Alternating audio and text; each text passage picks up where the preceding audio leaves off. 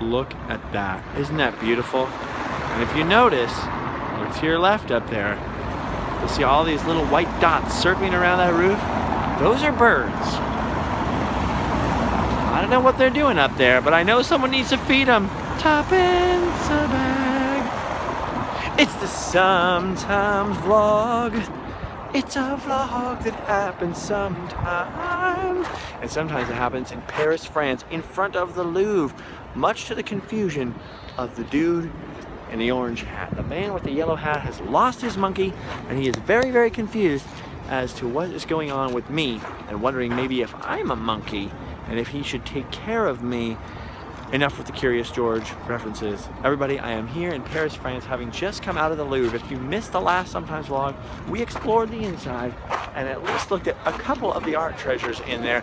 I don't want to name any names or ruin anything for you if you missed the last vlog, but you might want to go backwards and check out how I got this cool postcard and see some of the other things in there other than the, this postcard that are similar to it but different and maybe a little more historical. Isn't this a beautiful sight? There's the Louvre on the outside. Once a palace for royalty. There's a whole courtyard behind what you see there. And this used to be closed in right here. Look at these crazy buildings on the side of this. This was a palace for kings. French kings were here. This was the seat of imperial France later with Napoleon, this area, not this particular spot. Oh, uh-oh some sirens going by. So weird because they don't sound like home, so they don't immediately sound like sirens to me. It's like, what's that craziness? Uh-oh. Love. City of love. Oh, he just wiped his mouth though. He's like, oh, love tastes weird. anyway, I'm in the city of Paris. I just did it. I can check a few things off the bucket list in there. At least two sweet world-class art treasures in there. And now I have been released into the wild outside the Louvre. There's the big glass pyramid you enter through. You can see all the pictures I posted on Instagram. Live Fast Die Poor is the account name. And you can see, you know, the entry process and all the different things. But look at this, isn't this crazy? I've just been tripping out that this is where the French monarchs lived, and then later all of this was taken over by the French Republic, but a lot of it has survived. This obviously is all the Louvre, so this has all been expanded and added on to by uh, Napoleon III a lot, and different uh, people since the French monarchs were beheaded not far from here, just a hop, skip, and a jump down this road over here. This is the Arc de Triomphe du Carrousel, I think it's called. It's the little Arch of Triumph uh, commemorating, I don't know because I can't read French, but it says La Armée Française embarquée à Boulogne. So it keeps going on and on like that and says the word continent. So I'm guessing that this, you know, you know, commemorates uh, a triumph of some kind, just like the other the other bigger arch. Anyway, coming through this arch, you can see that giant Ferris wheel over there. That Ferris wheel is sitting between us and the Arc de Triomphe I can see the Arc de Triomphe, the big one, the, the big guy, right through the Ferris wheel. I don't know if you'll be able to see it on the wall. How's it going, man? And uh, and uh, anyway, we were there the other night in another vlog. So if you go back to the one called Will I Eat Snails, you can learn a lot more about what's on the other side of that giant Ferris wheel there. But where that Ferris wheel is sitting, uh, that is the place where Louis the 16th was it? And his bride, Marie Antoinette, not at the same time, different times, were both beheaded. That's where the guillotine was for the French Revolution.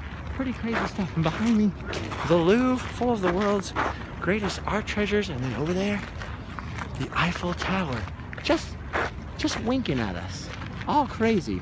Right here is the uh, Garden of Tuileries, is it? I can't pronounce anything French. Embarrassingly so. I didn't take French in school or anything, but it feels like you should be able to pronounce something, and I just can't.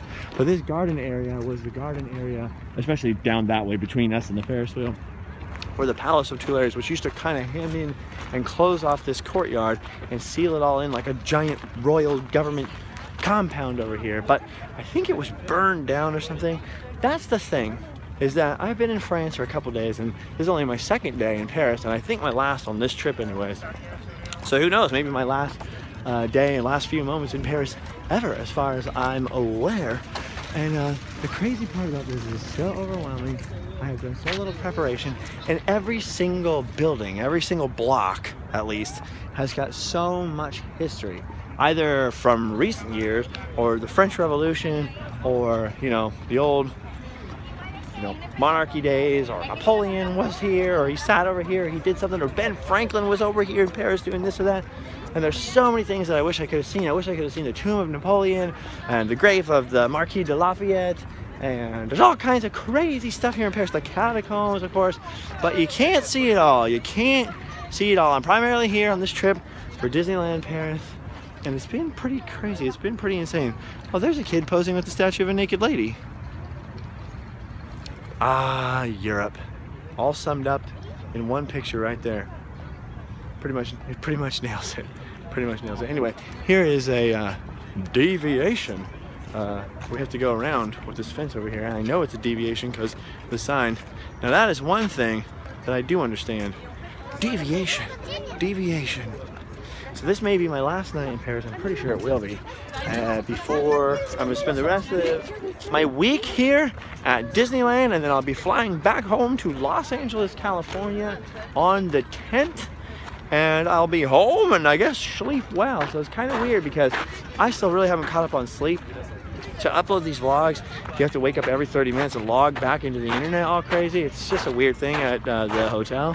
And so I have not been sleeping straight through the night at all. By the way, right there behind me, you can see guys with machine guns.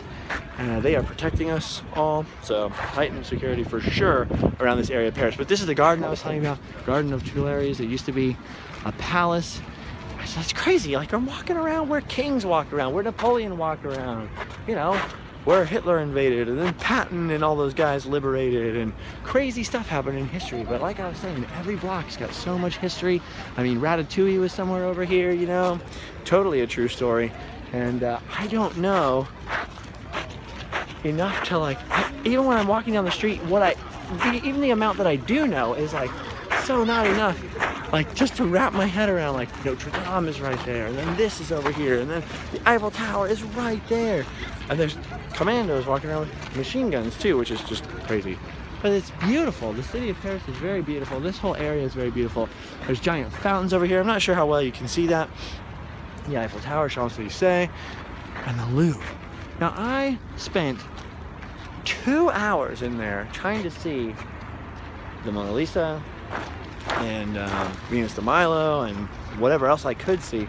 And I was only ever in one wing of the building, just actually from all this here is the Louvre, right? All the way back there, just in this side.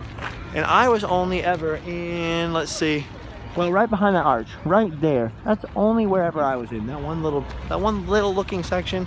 And I was in there for two hours and it was really hard for me to find the exit. And just seeing the things I wanted to see and a couple other things on the way to and from took up pretty much the entire time other than the vlog was taking up getting to and going from. That's how crazy big it is. Look at this.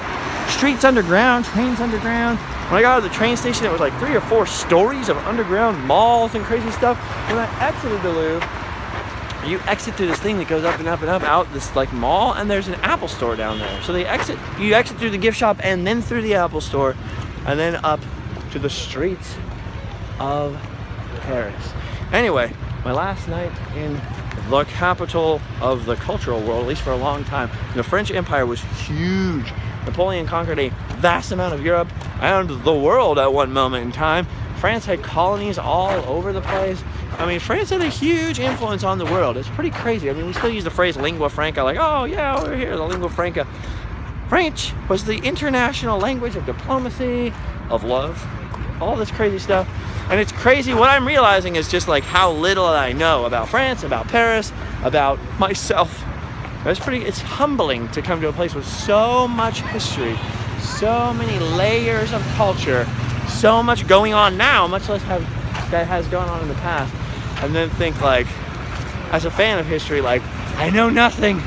I have not yet begun to scratch the surface. Look at all this crazy stuff. Look at all this. Now this was a much different looking place back in the whoa, back in the Les Miserables days, you know, before uh, before the revolution. After the revolution, they knocked down. I mean, not right in this area, obviously. This is a very expensive area. This was the seat of power of France. And look at it, Ooh, the Rue de Rivoli I don't know how to pronounce anything the French way, but the Rue de Rivoli, very famous road going alongside the Louvre there. And then all the way down here to where it joins up with the Champs-Elysees. Goes all the way to the Arc de Triomphe. It's crazy, I'm just hanging out in Europe. So I guess I'm walking it now, past the Garden of the Tuileries. And we'll skip over this moment in time to instantly arrive in the future when I get farther down because this is a heck of a long walk uh, along a very ornate fence. And um, let's just skip it to the future. You see, this is what I was talking about. I don't know how well you can see, but right there, right there is a column down there. The Place de Vendôme is what that area is called. I don't know how to pronounce it. But that column right there was erected by Napoleon Bonaparte to commemorate one of his victories. Napoleon Bonaparte, the guy, he was over right over there. And then it was torn down later and then rebuilt. It's a popular little spot. I can't even go over to it. That's how many crazy things are around each corner in Paris. That's what I was talking about. Every little nook and cranny is full of history. Anyway, I'm still walking down the Rue Rivoli. I had to actually stop and stop going to the future sooner than I thought. And I crossed the road to get a Coke since two seconds ago when you were just watching me, which is now in my pocket, making my chest look super awkward. Like, hey, what's up, guys? I'm super buff. Anyway, I was just thinking right now, and I touched on this in the last vlog too. Don't ever let anyone tell you no, right? People always say stuff like that. Don't ever let anyone get you down. Don't let people tell you no. But have you ever thought about how much you tell yourself no? Have you ever thought about how much you're just not on your own side? Have you ever thought about how much you tell yourself, I wish I could go do this, but it's impossible. My friends used to go to Europe, right, on tour with their bands. My band never made it to Europe, and I used to sit there and go, oh man, I wish I could go to Europe. I'm so into history, I wish I could go to Europe. But it's impossible. I used to be super negative like that all the time and think, no way, I'll never get there. I don't have any money. I don't have this. I don't have that. I don't have the other thing. And it wasn't until I changed my attitude, only like a year or two ago. And By the way, look at this. Fa fa fa fa fa fa fa fa fashion. Wow, punk rock has come a long way, huh? Wow, pretty fashionable right there. Sexy backpack, sexy backpack. Somebody called Dora the Explorer, but she gonna get a new backpack. Okay, this is totally neither here nor there. Listen, how much are you seriously not on your own side? I spent years being my own worst enemy, literally. I mean, not only was I super depressed during that time and didn't like myself, but I really didn't have much reason to like myself because, to be honest with you, treated myself really poorly. I always just thought, no, it's impossible. I'll never get to do this. I'll never get to do that. Always down in the mouth, always sour about it. If not out of my mouth, and inside my head, you know, towards myself. And it wasn't until I changed my attitude and thought, you know what, just don't say no. Don't say no, not to everybody else. You have to set boundaries for yourself. Even if they make other people mad, you gotta set boundaries for what you're comfortable with. You have to do what you need to do for you, right? That's fine. What I'm talking about is stop saying no to yourself. No to yourself. Not in a, not in a disobey your conscience kind of way, but stop being so negative towards yourself. Oh, it's impossible. I'll never get what I want. Yes, you will. But the only way you will is by at least starting down the journey, right? The journey of a thousand miles begins with a single footstep.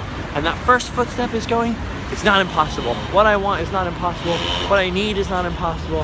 And that's the first step. That in and of itself, what, what can I do to get started on the path of the quest for positivity? Just honestly think to yourself, possible. I don't know how. Maybe it'll come from outside. Maybe you'll never expect it. Maybe God or the universe or whatever it is, good luck will bring you some kind of crazy chance to do something you never thought you'd get to do. Something exactly like this. Believe me, I am one of those people that all of my friends thought, man, you have the worst luck for years and years and years. And now all of a sudden, I'm standing on a street corner in Paris looking at these weird European people with their rent-a-bikes touring a very culturally significant place, talking to you guys, all of you guys in my life I never thought would be there. Isn't it funny how all the French people speak French so good? Nice, look at this, I'm on Mona Lisa bag.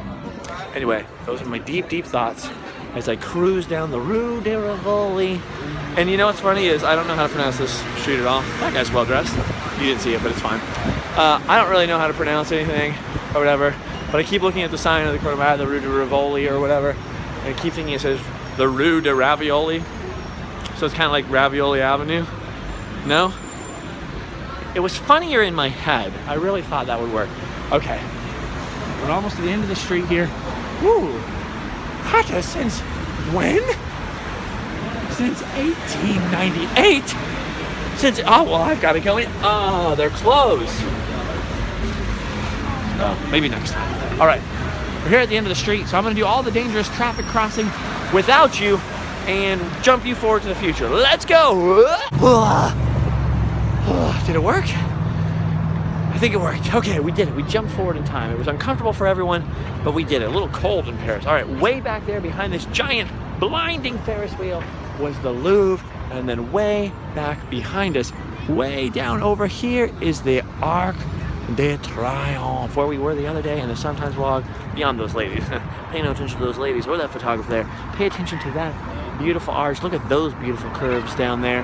That's where we were walking on the Champs-Elysees. Now, halfway between the Champs-Elysees, that big boulevard with all the fancy shops, you remember from the other day where I ate snails, and the Louvre, which is way back there, a similar distance, is this, the Place de la Concorde. Once named for Louis XV, it was renamed the Place de la Revolution during the French Revolution. This was the site, the principal site at least, of the guillotinings, where they executed over 1,100 people, including King Louis XVI and Marie Antoinette. Right around here, there's a plaque right at the foot of those humans right there. Let's go look at it. That commemorates, well, I don't know if it commemorates, but it tells the story at least a little bit in French, so I don't exactly know what it means. Uh, of Louis and Marie Antoinette, all the beheadings that were happening here. You can see it talks about how it was originally called Place Louis the 15th, and then it was called Place de la Revolution, and then here uh, was the principal site of the execution of Louis the 16th and Marie Antoinette. So I'm not sure if it happened out in the street a little bit or right here, but basically, right here, the French monarch was decapa from his tated. He was killed right here. This was the crazy, the reign of terror here during the French Revolution. All the crazy action was going on right here in the biggest square in France. So this Place de la Concorde, which is what it's called now, uh, after the fact, you know, well, okay, fine, we won't call it after the king and we won't call it after the revolution. We'll just call it something else. This is the biggest square, I think, in the city of Paris, 21 acres. 21 acres, it's huge. The U.S. Embassy is way back there. Other things, oh look, the Eiffel Tower's twinkling, yay, it's a fan of Twilight, look at it sparkle and uh, the site of all those crazy executions. It's also the site of this thing right here. Next to that plaque is this giant Egyptian obelisk that used to guard or mark the entry to the Temple of Luxor down in Egypt, which was given to the French government, uh, I guess as a present to Louis Philippe I, is what it says right there on the obelisk. And it shows all this neat stuff on the side about how they moved it here. I would tell you the year they moved it here, but it was definitely in October of some year with a bunch of Roman numerals that I don't want to spend the time to mathematically figure out. But look at that. Isn't that interesting? So all the craziest monuments in the city of Paris are right here. And I'm just totally tripping. I'm super tired and hungry, footsore. I saw the Mona Lisa today. I saw Disneyland this morning, did some filming, filmed some sometimes vlogs, hung out with you guys, did Periscopes, Instagram, Snapchat. And now I'm wandering around in Paris at the end of Champs-Elysees. I've sort of completed the whole thing now because I kind of walked all the way almost to here the other night. Then I did the Louvre this morning and walked this way. So I've kind of completed the center of Paris now. And we did the Eiffel Tower, of course, a couple days ago if you missed that on the Sometimes vlog. So this may be, for all I know, my last trip to Paris, like I was saying. But this is definitely my last night in the city of Paris now. I've got to hitch a ride or find a train or a bus or a, or a scooter or something back to Disneyland, which is about 40 or 50 minutes away by car and uh, 20 or 30 minutes away by train. But look at that, that's crazy. That's a crazy thing right there. Having no kings in um, Anaheim, California, where I'm from, other than other than Mickey Mouse.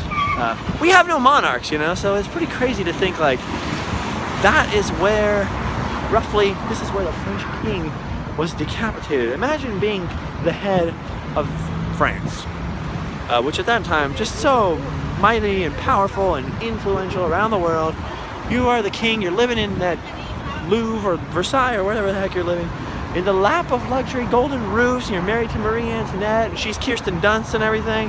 And then all of a sudden, there is a crazy mob beheading you for crimes against your country, well, I think actually what happened, and correct me if I'm wrong, please leave comments down below if you know more about the obelisk, if you know more about anything, because I really don't know all that much. This is all just what I remember off the top of my head, and the little bit I read on the plane over here, but I'm pretty sure if I remember correctly, Louis the 16th, who was the, who was, I almost said the president, who was the king who was decapitated, uh, I think he was plotting or they found him communicating with the outside world after he was imprisoned and they sort of, half of them, the assembly or whatever, they, half of them wanted to save him and the other half were like, no, put him to death immediately, but they, they won by a few votes.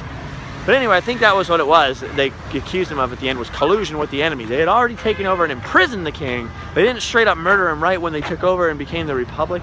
It was that he actually did sort of like collude with outside powers to get his throne back. And I mean, who could blame him really? I mean, you got to try, right? You got to try. You have to get points for trying. Anyway, uh, and he was beheaded here.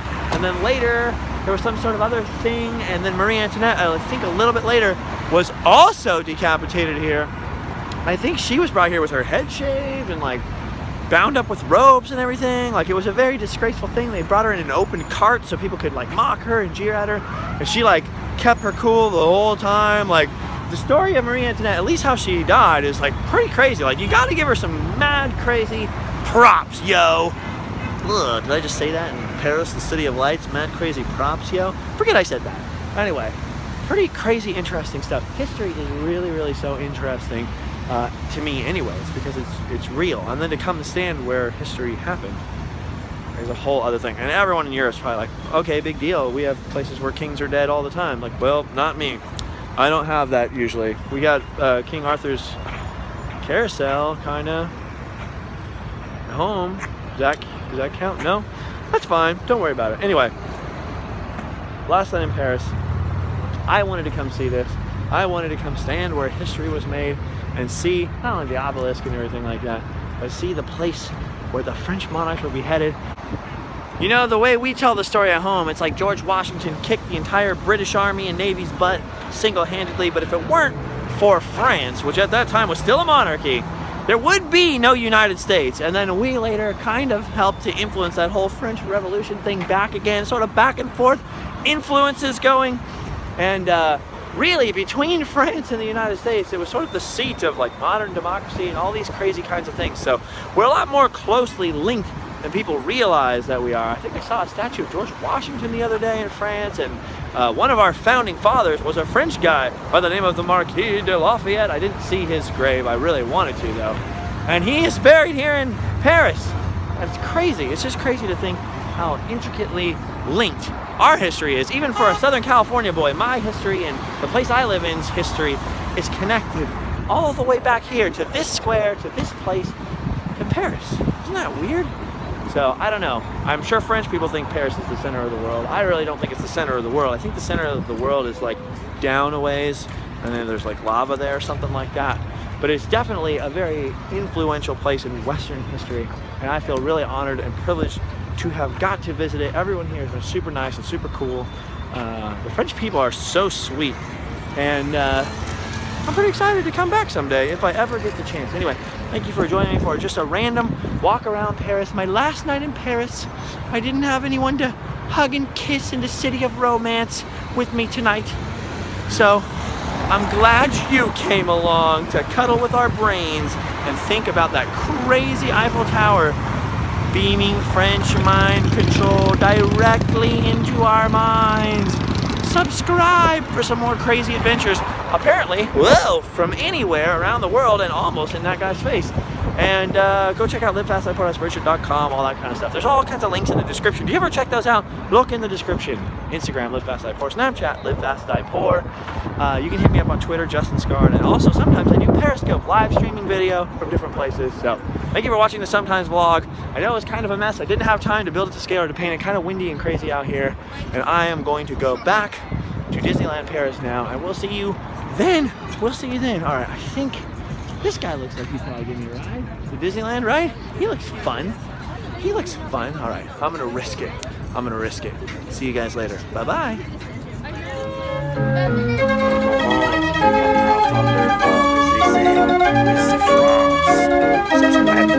This.